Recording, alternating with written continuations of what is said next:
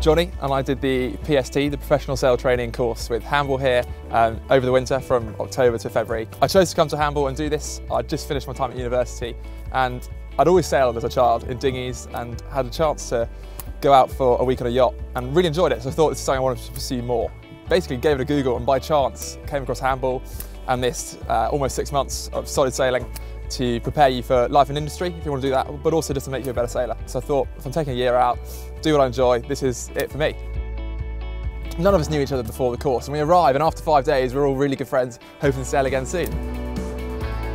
The high pressure environment you're in here in the Solent with the high tidal ranges and the weird weather you get and all the shipping, you learn really, really quickly. And if you can sail here, you can probably sail anywhere.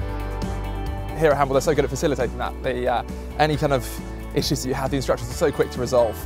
It makes it a really fun and rewarding place to learn. The instructors come from a, a bit of a mix of backgrounds. Some of them are ex-Navy, some of them learned to sail in the same way that we did here on the PST. And so they all bring a different thing to the party.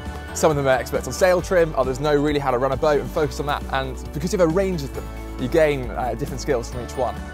Hamble only hire the best. Uh, that's really clear from day one.